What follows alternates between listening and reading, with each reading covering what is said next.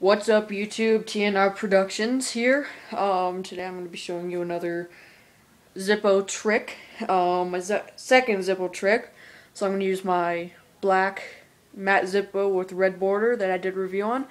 Um, so this one is called the pistol grip.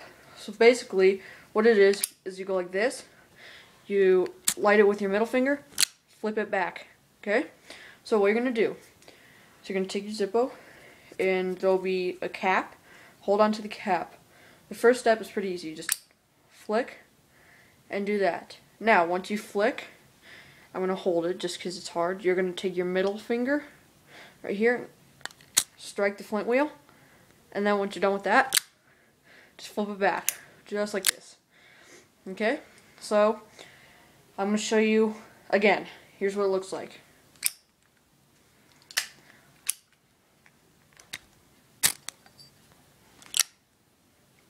Okay, again.